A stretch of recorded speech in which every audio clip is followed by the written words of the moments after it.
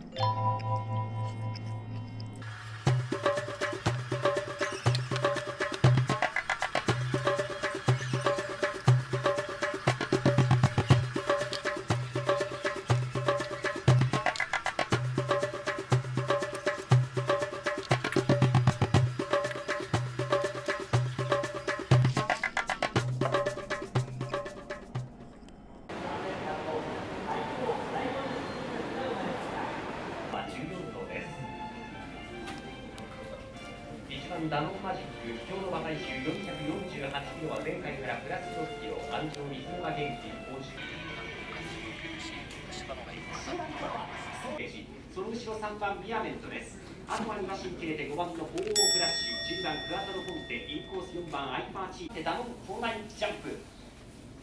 大きく後続を離しています1番ダノンマジックリードがもう20馬身ぐらいになっている続きますその後ろは2馬身がいて2番のロックバンド一つら障害ジャンプしていきましたさあ先頭1番大事その後あとは2馬身切れて後方から14番目クラシオバスが上がっていって600を切りました